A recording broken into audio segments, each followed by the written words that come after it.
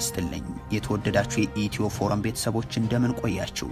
ለአሁን ያሰባሰብናቸውን መረጃዎች ከዚህ እንደሚከተለው ማቅረብ ጀመርን። ዋና ዋናዎቹን በቅድሚያ ጠቅላይ ሚኒስትር አብይ አህመድ ከተማ የምናፈርሰውና የምንዋጋው በብሔር ነው አሉ። ጦርነትና ከተማ ማፍረስ ብቻ ሳይሆን በግብርናው ዘርፍን ብሔርን ማዕከል ያደረገ ተግባር እንደሚፈጸም ተናግሯል። ትሰሙታላችሁ።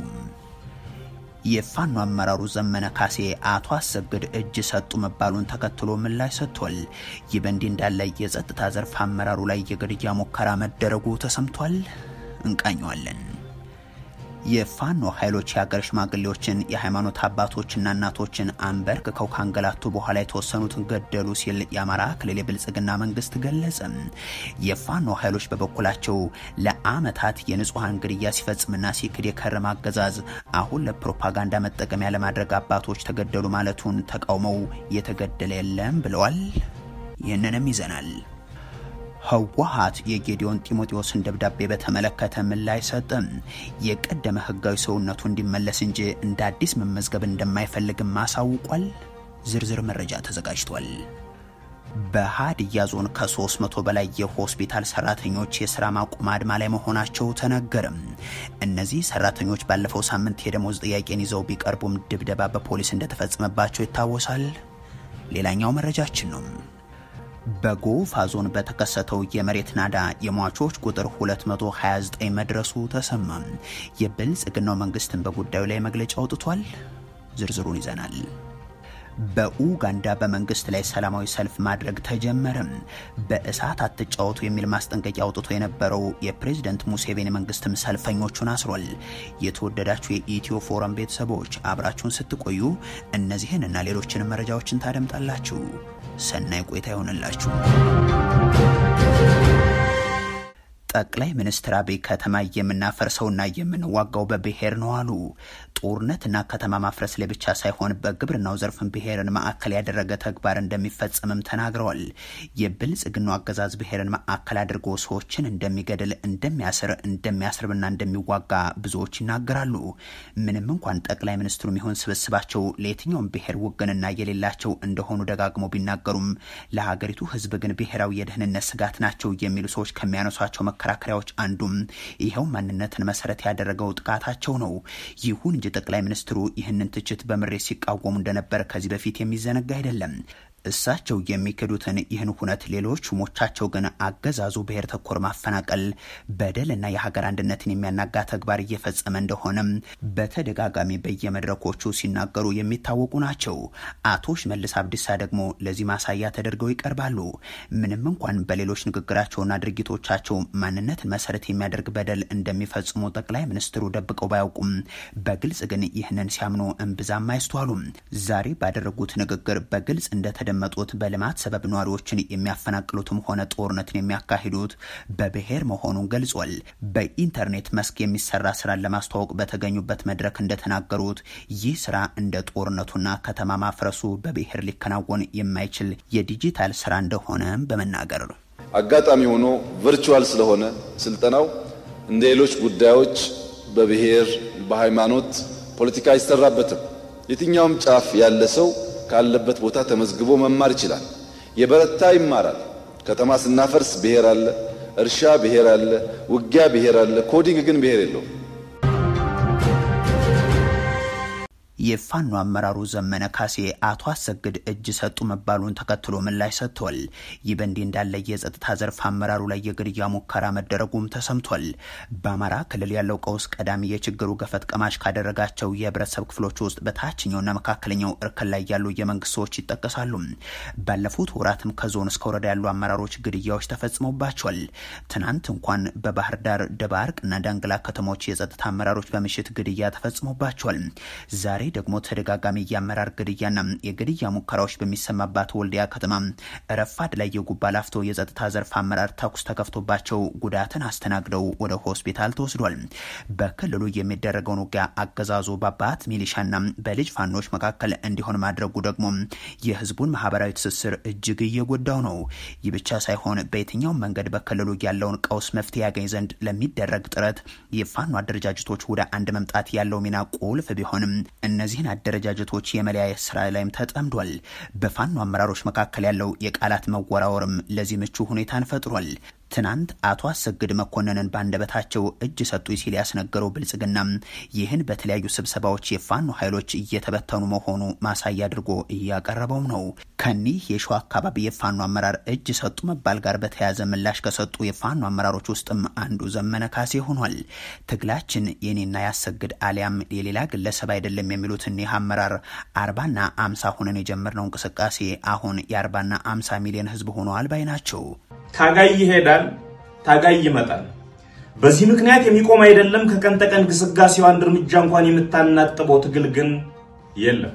ምክንያቱም ትግሉ በዚህ ሰዓት ብዙ ባለቤት ተቋማት አሉት። ምክንያቱም ትግሉ በሰዓት የሚጠብቅ ሰዓት ትውልድ እቅፍ ውስጥ ተቀምጧል።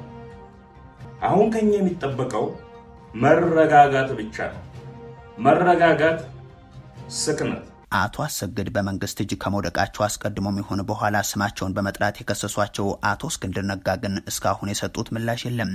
ይሁን እንጂ አሰግድ ይመሩት የነበረው የሸዋ አካባቢ የፋኖ አደረጃጀት ምክትላቸው የነበሩትን ኢንጂነር ደሳለኝ ሲያስብን በጊዜያዊነት መሾሙን ገልጾም የቀደመው አመራሩን ግን እጅ ሰጥተው ሳይሆን ታፍነው ነው ብሏል። በመግለጫው የአመራሩን እንቅስቃሴ በተመለከተ መረጃ ነበራቸው ያላቸውን የነ አቶ እስክንድር ነጋን አደረጃጀትንም ለዚህ ተጠያቂ አድርጓል። የጎጃም አካባቢ የፋኖ አመራሩ ዘመነ ካሴም አሁን ያጋጠመን ቀውስ የሚያጸናና የሚያጠራን ቀውስ ነው ብለው ለተፈጠረው ችግርም ብልጽግናና አቶ እስክንድር ነጋን ሲከሱ ተሰምቷል። የአብይ አህመድና የእስክንድር ቡድን አዲስ ጸረ አማራ ግንባር ፈጥረው በአማራ ህልውና ትግል ላይ ሲያሴሩ እጅ ከፍንጅ ይዘናቸው እምብዛም ኮሽ ሳናደርግ በሰራነው ስራ ሴራቸውን ብቻ ሳይሆን ሰዎችንም ጭምር አጋልጠን አሸንፈናቸዋል። የሚጠራርግ ማዕበል ላክንባቸው ሲሉ እንደ ደጃፍ ላይ የጭቃ ጎርፍ ዘለል ብለነው ሄደናል። ከሰሞኑ ሁነቶች ጋር በተያያዘ ተደጋጋሚ ክስ የሚቀርብበት የአቶ እስክንድር ነጋ አደረጃጀት የሚሰጠው ምላሽ ካለም ይዘን የምንቀርብ ይሆናል።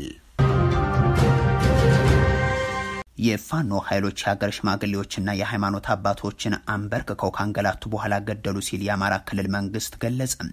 የፋኖ ኃይሎች በበኩላቸው ለአመታት የንጹሐንን ግድያ ሲፈጽምና ሲክድ የከረመ አገዛዝ አሁን ለፕሮፓጋንዳ መጠቀሚያ ለማድረግ አባቶች ተገደሉ ማለቱ አሳፋሪ ነው፣ የተገደለ ሰውም የለውም ይላሉ። የአማራ ክልል ብልጽግና ተገድለዋል ካላቸው አራት ሰዎች በተጨማሪም አስራ ሶስት ሰዎች በፋኖ ታስረው ሞት እየተጠባበቁ ነው ሲልም ባወጣው መግለጫ ላይ ጠቅሷል። ንጹሐን ዜጎችን በመግደል የትኛውንም ዓላማ ማሳካት አይቻልም የሚለው መግለጫውም ጽንፈኛው ሲል የጠራውን ታጣቂ ቡድን ሰላማዊ ዜጎችን በመግደልም ወንጅሎታል።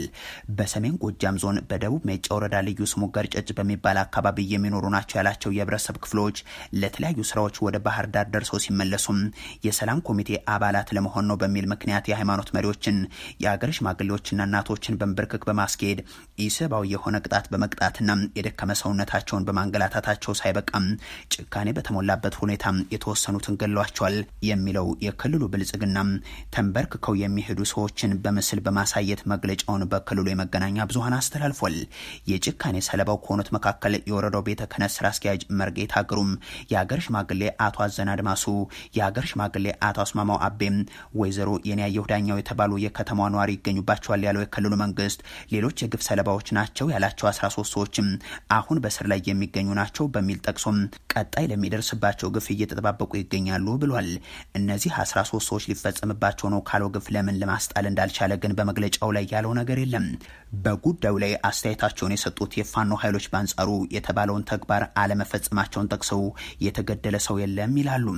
የአማራ ፋኖ በጎጃም ቃል አቀባይ የተገደለ ሰው የለም፣ ፋኖ ከያዘ በኋላ የሚገድል ኃይል አይደለም አስረው ከእስር ቤት ማውጥተው በመግደል የሚታወቁት እነሱ ናቸው።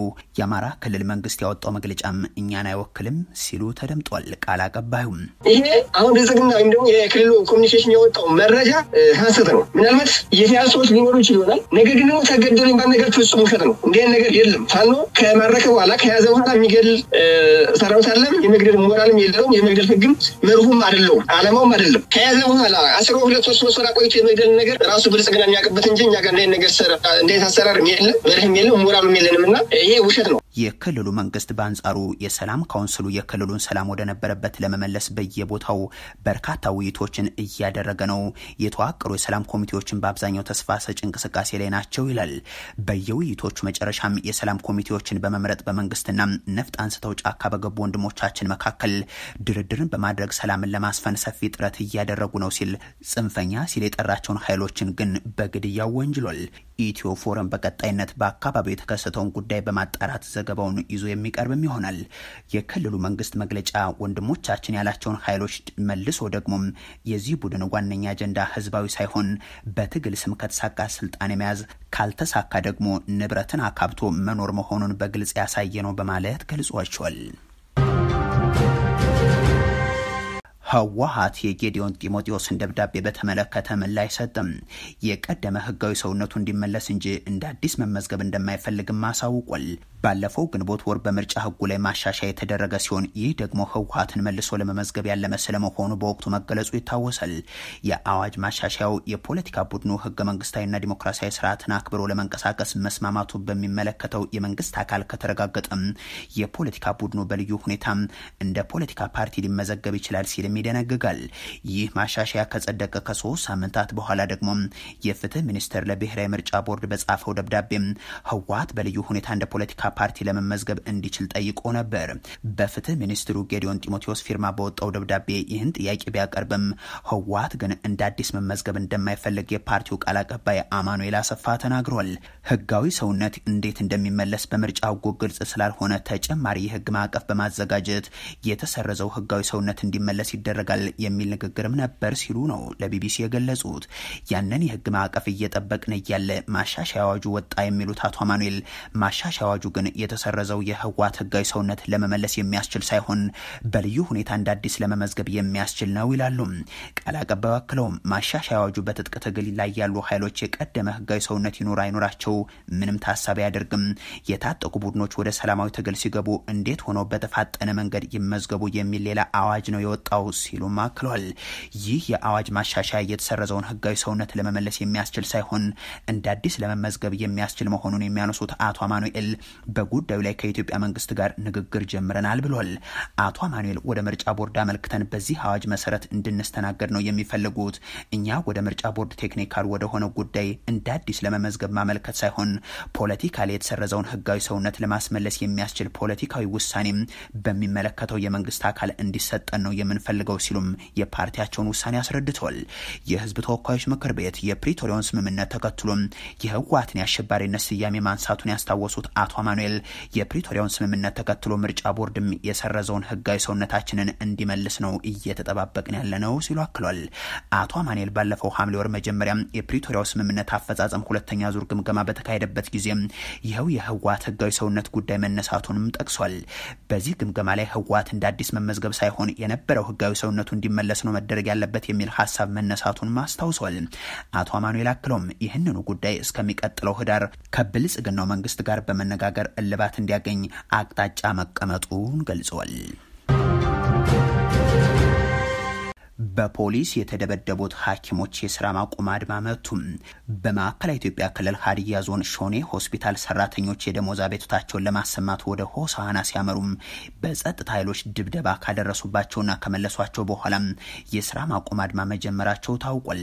ሸኔ ሆስፒታል የሚሰሩ የሕክምና ባለሙያዎች ከደሞዝ ክፍያ ጋር በተያያዘም ባለፈው ሐምሌ 11 ከሰዓት በኋላም በሶስት መለስተኛ የህዝብ ማመላለሻ መኪና ተሳፍረው ችግሩን ለማስረዳትና መፍትሄ እንዲሰጣቸው የክልሉ ፕሬዝደንት መቀመጫ ወደ ሆነችው ሆሳና ከተማ መጓዛቸውም ይታወሳል።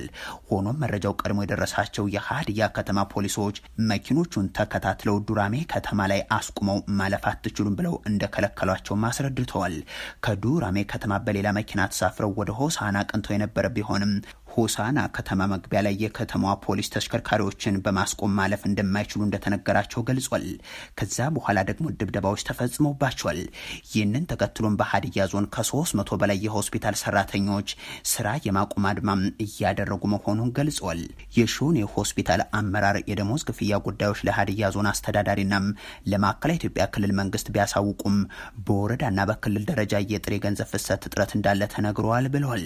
በሀገሪቱ በተለይም መምህራንና የሕክምና ባለሙያዎች እያሰሙት ያለው ቅሬታም እንደቀጠለ ነው። በጎፋ ዞን በተከሰተው የመሬት ናዳ የሟቾች ቁጥር 229 ደረሰም። የብልጽግናው መንግስት ደግሞ በጎፋ ዞን በመሬት ናዳ የደረሰውን አደጋ ጉዳት ለመቀነስ አስቸኳይ የአደጋ መከላከል ግብረ ኃይል ተቋቁሞ ወደ ስፍራው ተልኳል ሲል ገልጿል። በአሳዛኙ አደጋ ህይወታቸው ማለፋቸው ከተረጋገጡት መካከልም ወንዶች 148 ሲሆኑ ሴቶች ደግሞ 81 ናቸው። የጎፋ ዞን ዋና አስተዳዳሪ እንደሚሉት ከሆነ በድንገተኛ አደጋው በርካታ ሰዎች ህይወታቸውን ማጣታቸውና ለነፍስ አድን ስራ ቀድመው በስፍራው የተገኙ የቀበሌውን አስተዳዳሪ ጨምሮ መምህራን፣ የጤናና የግብርና ባለሙያዎች አደጋው ሰለባ መሆናቸውን ገልጿል። የአካባቢው ማህበረሰብን በአሁኑ ሰዓት ለተጎጂዎች የመጠለያና ምግብ አቅርቦትን ለማድረስ እየጣረ ነው። የብልጽግናው መንግስት ባወጣው መግለጫ ደግሞ ይህንን መግለጫ እስካወጣንበት ጊዜ ድረስ ያረጋገጥናቸው 157 ሰዎች ህይወታቸውን አጥተዋል፣ ንብረትም ወድሟል። በዚህ ደግሞ ሀዘናችንን እንገልጻለን ነው ያለው። በኡጋንዳ በመንግስት ላይ ሰላማዊ ሰልፍ ማድረግ ተጀመረ። በሰዓት አትጫወቱ የሚል ማስጠንቀቂያ አውጥቶ የነበረው የፕሬዝደንት ሙሴቬኒ መንግስትም ሰልፈኞችን አስሯል። በኬንያ የተጀመረው በመንግስት ላይ ሰላማዊ ተቃውሞ የማሰማት ዘመቻን የተቀላቀሉት ኡጋንዳውያን በመንግስት ላይ ቁጣቸውን ሊያሰሙ አደባባይ ወጥተዋል። መዲናዋ ካምፓላም ዛሬ ከማለዳ ጀምሮ በርካታ ፖሊስና ወታደሮችን አሰማርታ የተቃውሞ ሰልፍ እንዳይካሄድ ከልክላ ውላለች። ምን ያክል እንደሆኑ ባይጠቀስም የታገደውን ሰልፍ ያደረጉ ወጣቶች ግን ሙስናና የሰብአዊ መብት ጥሰት ይቁም የሚሉ መልእክቶችን የያዙ መፈክሮችን ይዘው አደባባይ መውጣታቸውን የተነገረው የሀገሪቱ መንግስታዊ ሚዲያ ግን ኡጋንዳ የጸጥታ ኃይሎችን ለተቃውሞ የወጡ ወጣቶችን በቁጥጥር ስር ውለው በተሽከርካሪዎች ሲወስዱ የሚያሳይ ምስል ለቋል። ተቃዋሚዎቹ ወደ ኡጋንዳ ፓርላማ እንዳያመሩ መንገዶች ሁሉ ዝግ ሆነው ካምፓላ የጦር ቀጠና መስለውላለች ሲሉም ነው ነዋሪዎች ለሮይተርስ የተናገሩት። የሀገሪቱ መንግስት ወንጀለኛ ወጣቶች የተቃውሞ ሰልፉን ሽፋን በማድረግ ወደ ዘርፊያ ሊሰማሩ መሆኑን የሚያሳይ የደህንነት መረጃ ደርሶኛል በሚል ሰልፉ እንዳይደረግ ከልክሎ ነበር። ፖሊስ በትናንትናው ዕለትም የሀገሪቱ ዋነኛ ተፎካካሪ ፓርቲ ናሽናል ዩኒቲ ፕላትፎርም ዋና ቢሮን በመክበብ ማንም እንዳይገባና እንዳይወጣ ማድረጉን ፓርቲው በትዊተር ገጹ አሳውቋል። በርካታ የፓርቲው አመራሮችም የተቃውሞ ሰልፉን አስተባብራችኋል በሚል በቁጥጥር ስር መዋላቸውን ያስታወቁት የፓርቲው መሪም ሰልፉን ባናስተባብርም እንደግፈዋለን ብሏል። በኬንያ የተጀመረው በመንግስት ላይ ቁጣን የመግለጽ ሰላማዊ ተቃውሞ የ79 ዓመቱ ኡጋንዳዊ ፕሬዚዳንትን ያሰጋ ሲሆን ሰሞኑን ሰላማዊ ሰልፍ የምታስቡ በእሳት እየተጫወታችሁ መሆኑን ወቁ ሲሉ አስጠንቅቀው ነበር። የሚነሳባቸውን ተቃውሞ ከምዕራባውያን ሴራ ጋር የማገናኘት ልምድ ያላቸው ፕሬዚደንት ሙሴቬኒ ለዛሬ ሊደረግ ቀጠሮ ተይዞለት የነበረው የተቃውሞ ሰልፍ ከምዕራባውያን ጋር አስተሳስረውትም ነበር። ተቃዋሚ ፓርቲዎችን ከውጭ ኃይላት ጋር ሆኖ ባስተባበሩትና ኡጋንዳን የማተራመስ ተልዕኮ ባለው ሰልፍ ላይ እንዳትሳተፉ ሲሉ ነው ጥሪ አቅርበው የነበረው። የተወደዳችሁ የኢትዮ ፎረም ቤተሰቦች ለአሁኑ ያሰባሰብናቸው መረጃዎችን ይመስሉ ነበር። መልካም ቆይታ